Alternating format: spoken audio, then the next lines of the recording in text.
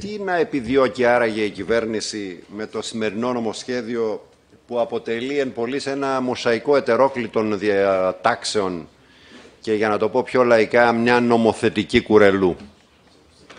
Αφού εκτός από το Υπουργείο Ενέργειας στο νομοσχέδιο συμμετέχουν και άλλα 6-7, μπορεί και περισσότερα Υπουργεία, με πλήθος διατάξεων για τις οποίες βεβαίως θα αναφερθούμε παρακάτω και τις επόμενες ημέρες. Καταρχάς, αυτό που επιδιώκετε κι εσείς ως κυβέρνηση είναι να επιταχύνετε την υλοποίηση των στόχων της λεγόμενης πράσινης μετάβασης της Ευρωπαϊκής Πράσινης Συμφωνίας και της Στρατηγικής της Ευρωπαϊκής Ένωσης για την κλιματική αλλαγή και τις ΑΠΕ, τις ανανεώσιμες πηγές ενέργειας.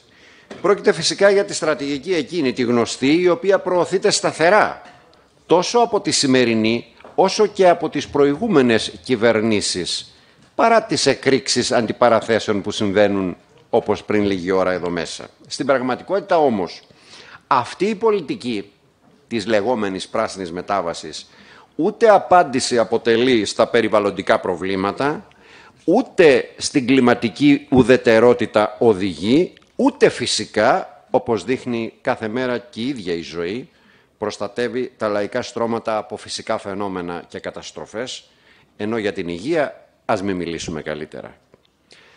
Έτσι και οι ρυθμίσεις στο σημερινό νομοσχέδιο δεν έχουν άλλο στόχο από την επιτάχυνση της υλοποίησης των στόχων αυτής της πράσινης μετάβασης, την ενίσχυση της ανταγωνιστικότητας και της κερδοφορίας των επιχειρηματικών ομίλων, εν τέλει την κερδοφόρα διέξοδο των λιμναζόντων κεφαλαίων, που είναι πολλά, πάρα πολλά.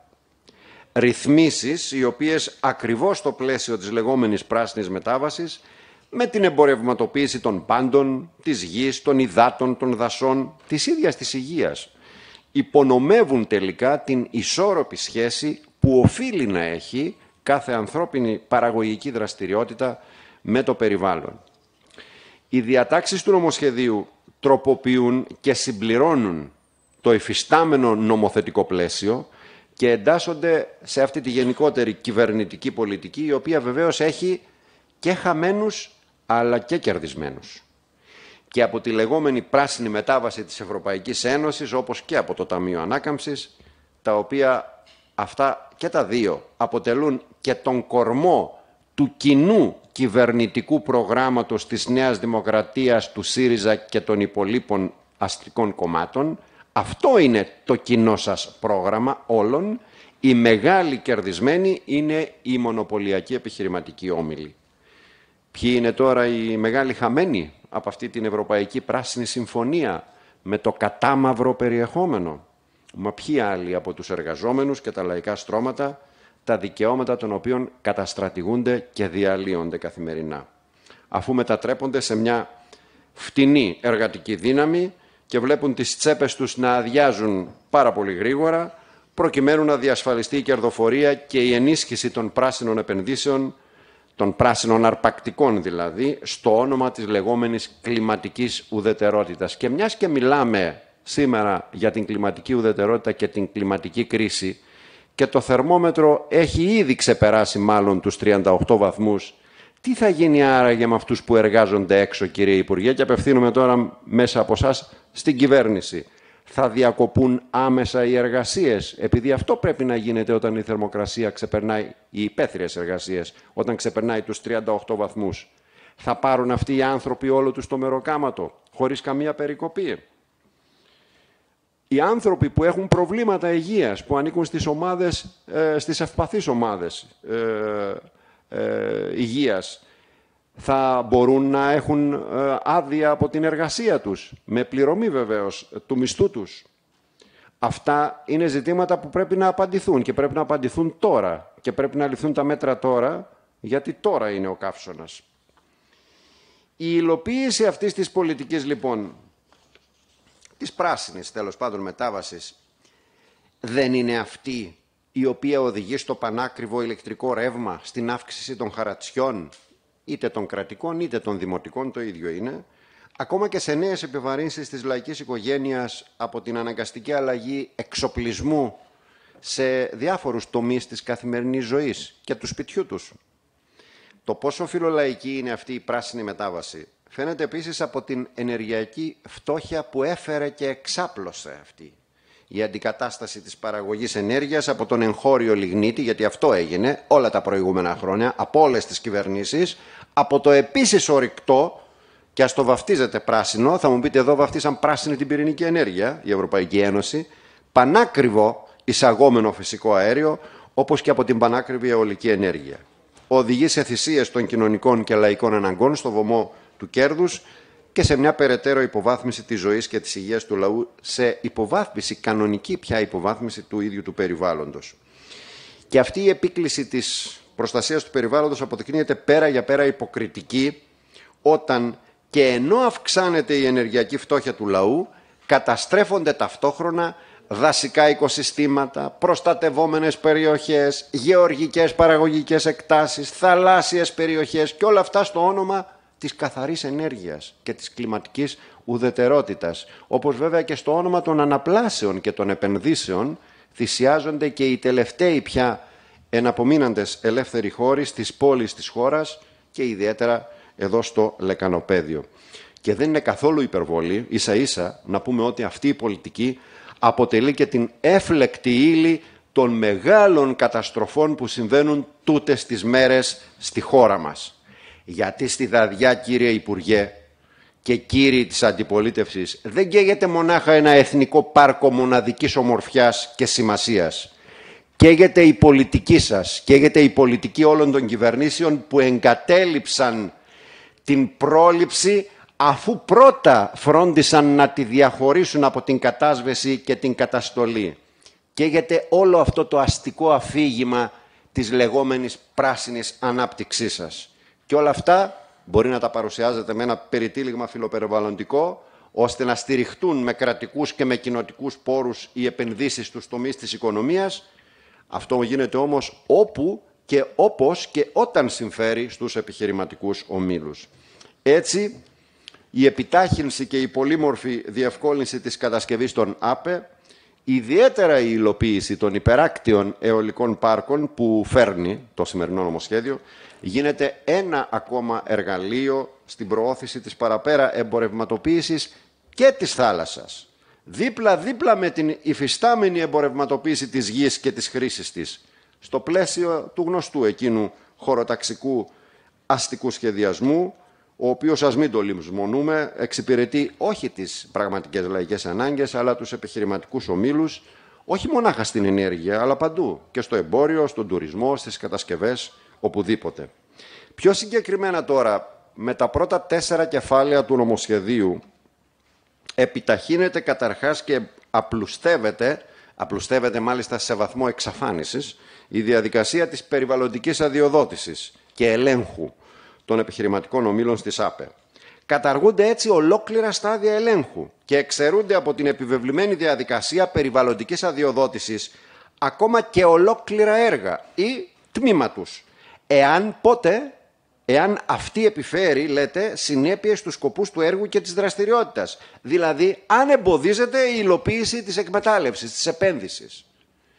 Παραπέρα, σε προστατευόμενες περιοχές επιτρέπονται ακόμα περισσότερες κατηγορίες χρήσεων σε προστατευόμενες, επαναλαμβάνω, περιοχές, οι οποίες είναι ασύμβατες αυτές οι χρήσεις με κάθε έννοια αυστηρής προστασίας, όπως είναι η κατασκευή πλατιών, δρόμων, δεν τους λέτε δρόμους, τους λέτε, τους λέτε γραμμικές υποδομές μεταφορών, δρόμοι είναι, οι εγκαταστάσεις αποθήκευσης και μεταφοράς ηλεκτρικής ενέργειας και τηλεπικοινωνιών, η ελεύθερη βόσκηση κλπ αφενός επιβαρύνονται όλες οι ζώνες προστασίας των προστατευόμενων περιοχών Natura με νέες χρήσεις, οι οποίες δεν προβλέπονταν με το ισχύον καθεστώς, και αφετέρου ουσιαστικά νομιμοποιείται και με αλφαγιώτα και με ε, όπως ε, το ίδιο είναι, νομιμοποιείται οποιαδήποτε μέχρι σήμερα υφιστάμενη χρήση, ανεξάρτητα από το αν αυτή δημιουργεί αρνητικές επιπτώσεις στις προστατευόμενες αυτές περιοχές χαρακτηριστικά στις ζώνες προστασίας της φύσης,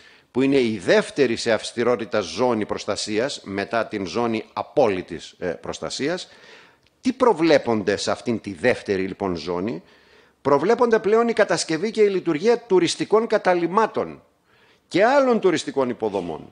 προβλέπονται εγκαταστάσεις ΑΠΕ, προβλέπονται κατασκηνώσεις, ενώ σε όλες τις κατηγορίες, εκτός όπως είπαμε, όπως είπαμε από την απόλυτη προστασία, προβλέπονται πλέον μέχρι και εξορυκτικές δραστηριότητες, συμπεριλαμβανομένων μάλιστα και των εξορίξεων υδρογονανθράκων. Όλα αυτά σε προστατευόμενες υποτίθεται περιοχές. Στις περιοχές που καθορίζονται ως ζώνες βιώσιμης διαχείρισης φυσικών πόρων, στην τρίτη δηλαδή ε, σειρά ε, ζώνη προστασίας, επιτρέπει πέρα από τα όσα ισχύουν ήδη, τη δημιουργία εμπορικών κέντρων, εγκαταστάσεων εμπορικών εκθέσεων, αεροδρομίων, χώρων επεξεργασίας, αποθήκευσης και διάθεσης στερεών αποβλήτων, ακούστε, χώρων επεξεργασίας, διάθεσης στερεών τοξικών αποβλήτων, εγκαταστάσεων οχημάτων τέλους κύκλου ζωής, τα αυτοκίνητα που αποσύρονται δηλαδή, υπόδρομο μέχρι και καζίνο σε προστατευόμενες περιοχές. Τέλος, ρυθμίζονται προς όφελος των μονοπωλιακών ομίλων στη ΣΑΠΕ και σε βάρος της προστασίας του περιβάλλοντος ζητήματα των ειδικών περιβαλλοντικών μελετών με διαδικασίες που κάνουν πιο ευέλικτη την έγκρισή τους όταν αυτές πλέον είναι υποχρεωτικές, μόνο που θα γίνονται αυτές κατόπιν εορτής, αφού και χωρίς αυτές θα μπορεί να λειτουργεί μια χαρά μια εκμετάλλευση επένδυση. Με τις διατάξεις που οι οποίες αφορούν στον ΟΦΙΠΕΚΑ και το Πράσινο Ταμείο, ουσιαστικά αυτοί οι δημόσιοι οργανισμοί μετατρέπονται σε βασικά εργαλεία επιτάχυνσης της εμπορευματοποίησης του περιβάλλοντος. Είτε με δύο τρόπους, είτε εξασφαλίζοντας τους οικονομικούς πόρους τους ακριβώς από την παραπέρα περιβαλλοντική εμπορευματοποίηση, είτε με την άμεση εξυπηρέτηση των επενδυτικών επιδιώξεων των επιχειρηματικών ομίλων, ακόμα και με τη συμμετοχή τους σε αυτές με διάφορες μορφές. Ενώ τα βάρη, είτε μέσα από τα εισιτήρια, είτε από άλλες δραστηριότητες, θα πέσουν στο λαό, όπως είναι παραδείγματος χάρη το εισιτήριο που ετοιμάζεστε να βάλετε στους εθνικούς δρυμούς και σε άλλες προστατευόμενες περιοχές. Με τα κεφάλαια τώρα, το ε και το σ επιδιώκεται η πλήρης διευκόλυνση και επιτάχυνση της επιχειρηματικής δράσης στα δάση, αφού οι επιτροπές δασολογίου θα μετατραπούν σε μια κανονική βιομηχανία αποχαρακτηρισμού δασικών εκτάσεων, μεγάλο μέρος των οποίων είναι κατά τεκμήριο κρατικής ιδιοκτησίας, αλλά παραδίδονται στο κατασκευαστικό κεφάλαιο και τους εμπόρους της γης, με βάση το νομικό πλαίσιο που έχει ψηφιστεί και από τις δύο κυβερνήσεις, και τη σημερινή και την προηγούμενη. Συμπίπτει μάλιστα η συζήτηση του νομοσχεδίου αυτού και με όλη την τραγική σημερινή επικαιρότητα των πυρκαγιών σε όλη τη χώρα, οι οποίες, όπως είπαμε, καταδεικνύουν την ανυπαρξία οποιασδήποτε πρόληψης στη δασική προστασία. Η λήψη μάλιστα αποσπασματικών μέτρων δεν αποτελούν ουσιαστική ενίσχυση του πυροσβεστικού σώματος, αφού δεν αντιμετωπίζουν κανένα από τα βασικά του προβλήματα, όπως είναι οι ελλείψεις σε μόνιμο προσωπικό και μέσα για την αποτελεσματική άσκηση των καθηκόντων του. Στο έβδομο κεφάλαιο επιταχύνεται προς όφελος των κατασκευαστικών ομήλων και σε βάρος της κρατικής περιουσίας η οριοθέτηση των μικρών ρεμάτων. Μικρών ίσως σε μέγεθος αλλά μεγάλων σε σημασία με την ονομασία τους ως προσωρινή. Η προώθηση των δίθεν κλιματικά ουδέτερων και έξυπνων πόλεων νομιμοποιείται η εγκατάσταση κέντρων υψηλής τάσης στα οποία παρέχονται άδειες κατά παρέκκληση μάλιστα του υφιστάμενου πολεδομικού νομικού πλαισίου. Ω προς τις οικοδομικές άδειες, προβλέπεται σύνολο ρυθμίσεων με τις οποίες η διαδικασία έκδοσης οικοδομικών αδειών όρων δόμησης ενοποιούνται ώστε οι πράξεις της διοίκησης να διευκολύνουν τους κατασκευαστικούς ομίλους και αυξάνονται βεβαίως οι συντελεστές δόμησης για χρήση στη γεωργία, στην κτηνοτροφία, τις ιδετοκαλλιέργειε, οι οποίες, για μισό λεπτό, ποιους ευνοούν, ευνοούν μήπως τη φτωχομεσαία αγροτιά; Όχι. Ευνοούν τους καπιταλιστές του αγροτοκτηνοτροφικού τομέα. Στο 8ο κεφάλαιο, το κριτήριο των διατάξεων και αυτού του τμήματος του νομοσχεδίου δεν είναι άλλη από την κερδοφορία των ομίλων στη ΣΑΠΕ, με τεχνογνωσία φυσικά κατασκευής που την κατέχουν οι πολυεθνικές της Βόρειας Ευρώπης και αυτό το γνωρίζουμε. Δημιουργεί λοιπόν το νομοσχέδιο μια ανώνυμη εταιρεία η οποία θα ρυθμίζει όλο το πλαίσιο των θαλάσσιων πάρκων και θα διαχειρίζεται αυτή τα κρατικά δικαιώματα ως φορέας. Παραχωρούνται δωρεάν και κατά παρέκκληση των κείμενων διατάξεων η χρήση ακινήτων που ανήκουν στο δημόσιο για έρευνα και εκμετάλλευση υπεράκτιων αιωλικών πάρκων. Μάλιστα προβλέπεται αλίμονο δεν θα το ξεχνάγατε, προβλέπεται και η λειτουργική ενίσχυση των επενδυτών. Τι σημαίνει αυτό; Είναι η επιδότησή τους, διασφαλίζοντάς τους κέρδη με εγγυημένη μάλιστα τιμή, ανεξάρτητα από την τιμή που διαμορφώνεται στο χρηματιστήριο ρήπων. Στους πράσινους ομίλους δίνεται εγγυημένη τιμή πώλησης. Στις τιμές των αγροτικών προϊόντων την αρνείστε αυτήν την εγγυημένη τιμή.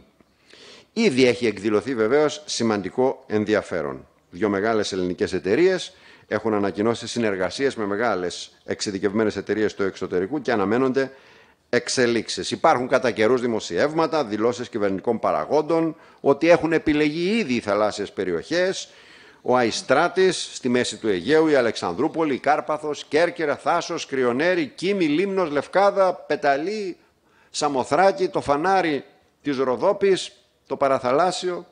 Οι επιπτώσεις όμως στο θαλάσσιο οικοσύστημα από την κατασκευή και τη λειτουργία τους αφορούν τον περιορισμό της αλληλείας, τη θαλάσσια πανίδα, τα μεταναστευτικά πουλιά, τη μείωση του βένθους και της βιοπικιλότητας του βυθού, πιθανόν τα δρομολόγια των θαλάσσιων μεταφορών, την επίδραση από τα ηλεκτρομαγνητικά κύματα των πτερυγίων και από την διάβρωση των υλικών κατασκευής. Σε σχέση με τις διατάξεις για την αντιμετώπιση της ενεργειακής κρίσης, πρόκειται για διατάξεις οι οποίες χρηματοδοτούν έργα υποδομής δικτύων από το κράτος, το ίδιο, απαλλάσσοντας τους ομίλους από το κόστος κατασκευής τους. Καταργούνται διατάξεις που για έργα δικτύων έπρεπε να υπάρχει άδεια από την Υπηρεσία Δόμησης και το Συμβούλιο Αρχιτεκτονικής και αυτά εξασφάλιζαν ώστε να είναι σίγουρη η κατασκευή από άποψη δόμησης και φυσικά να είναι άρτια η αρχιτεκτονική κατασκευή και τέλος υπάρχει μια απαράδεκτα ευνοϊκή ρύθμιση για να νομιμοποιούνται οι καταπατήσεις κρατικής δασικής γης και καταστροφής δασικής βλάστησης αλλά και ιδιωτικής δασικής ε, έκτασης. Μέχρι τώρα, αν δεν είχαν εγκεκριμένη άδεια της δασικής υπηρεσίας σε δάση, δασικές εκτάσεις και δημόσιες εκτάσεις, έπεφταν τουλάχιστον κάποια πρόστιμα. Έπεφταν. Τώρα αν τα πλήρωναν, έχει, είναι άλλο ζήτημα. Τώρα πια αρκεί μόνο να έχουν κάνει αίτηση πριν την καταπάτηση για να πάρουν την άδεια.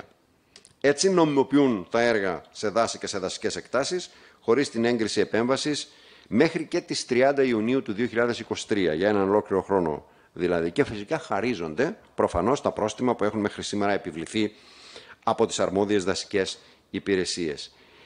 Ευνοϊκή ρύθμιση είναι επίσης και η απαλλαγή από το τέλος ΑΠΕ των φωτοβολταϊκών κάτω από ε, ένα μεγαβάτ σε έργα που έχουν παρετηθεί, όπως λέτε, από τη Σύμβαση Ενίσχυσης. Εδώ όλοι γνωρίζουμε ότι τα φωτοβολταϊκά στην πραγματικότητα είναι μεγάλα έργα, αλλά οι όμιλοι τα σπάνε σε, σε, σε μικρότερα που να έχουν ισχύ μέχρι ένα μεγαβάτ. Έτσι, αν ένα φωτοβολταϊκό μπορεί να παράγει 100 ΜΒ, το σπάνε σε 100 οικόπεδα του, της μιας μεγαβατόρας για να μην πληρώνουν αυτά τα τέλη. Προβλέπεται επίσης, δεν ξέρουμε, ίσως πρέπει να δοθεί μια εξήγηση εδώ, ανάμεσα στα άλλα και η διακοπή της χρηματοδότησης του Ταμείου Επικουρικής Ασφάλισης Υπαλλήλων Εταιριών Εμπορίας Πετρελαιοδών και Υγραερίων. Όσο για τα ζητήματα της κυκλικής οικονομίας, εντάχει να πω ότι στην πραγματικότητα αυτή η κυκλική οικονομία οδηγεί σε μια κυκλική ανάπτυξη νέων πράσινων, έτσι τους λένε πια καπιταλιστών, οδηγεί συνεχώς σε διαφόρων μορφών χαράτσια που θα πληρώνει ε, ο λαός και τίποτα ε, περισσότερο. Έρχομαι τώρα, λίγο πριν ε, κλείσω, ε, στο τρίτο μέρος του νομοσχεδίου που αναφέρεται στις μουφτίες, που είναι 26 άρθρα. Θέλουμε να διευκρινίσουμε εδώ ότι ο βασικός άξονας της δράσης του κόμματός μας, του ΚΚΕ, είναι η σφυριλάτηση πρώτα απ' όλα της ταξικής ενότητας της εργατικής τάξης, της συμμαχίας της με τα λαϊκά στρώματα, της υπεράσπισης των συμφερόντων τους, των δικαιωμάτων της νεολαίας. Άρα και στη Θράκη το ΚΚΕ έχει σαν άξονα βασικό της δράσης του τα οξυμένα κοινά, επαναλαμβάνω, κοινά προβλήματα του λαού της περιοχής. Ταυτόχρονα όμως παλεύει το ΚΚΕ ώστε να μπορούν οι εργαζόμενοι της μειονότητας να αναπτύξουν και αυτήν την ιδιαίτερη πολιτιστική τους ταυτότητα χωρίς αποκλεισμούς, ώστε να αποτελέσει αυτή η ιδιαίτερη ταυτότητα μια πραγματική γέφυρα φιλίας και ενότητας και όχι ένα άγωνο πεδίο, επικίνδυνο πεδίο αστικών αντιπαραθέσεων. Επίσης, το ΚΚΕ είναι γνωστό αυτό. Από την πρώτη ακόμα μέρα της ίδρυσής του διατηρεί σταθερά μια θέση αρχής. Είναι υπέρ του διαχωρισμού της Εκκλησίας από το κράτος, της θρησκείας από το κράτος. Από τη σκοπιά αυτή λοιπόν θεωρούμε αναχρονιστική, θεωρούμε σκοταδιστική την εφαρμογή της Σαρίας στο κληρονομικό και οικογενειακό δίκαιο της μειονότητας, της Θράκης. Μιας Σαρίας η οποία αντικειμενικά δίνει δικαιοδοτικές, δικαιοδοτικές και πολιτικές αρμοδιότητες και εξουσίες στους μουφτίδες. Ταυτόχρονα όμως θεωρούμε ότι η αναγκαία κατάργηση αυτών των πολιτικών εξουσιών του μουφτή οφείλει να γίνει με μια πλατιά αναγκαία καμπάνια διαφώτισης της μειονότητας. Με βάση τα παραπάνω λοιπόν τοποθετούμαστε σε αυτό συνολικά στο τρίτο μέρος του νομοσχεδίου τοποθετούμαστε ως κόμμα με το παρόν σε αυτό το τρίτο μέρος του νομοσχεδίου που έχει τίτλο «Εξυγχρονισμός των μουφτιών της Θράκης». Κλείνοντας, κύριε Υπουργέ, υπονομεύετε το περιβάλλον και εσείς, δεν πρωτοτυπείτε βεβαίως, υπονομεύετε το περιβάλλον και προκαλείτε το λαό με το νομοσχέδιό σας αυτό. Ειδικά μέσα στις σημερινές τραγικές συνθήκες των πυρκαγιών των τελευταίων ημερών. Σας καλούμε να το πάρετε πίσω. Σε κάθε περίπτωση, ως ΚΚΕ το καταψηφίζουμε.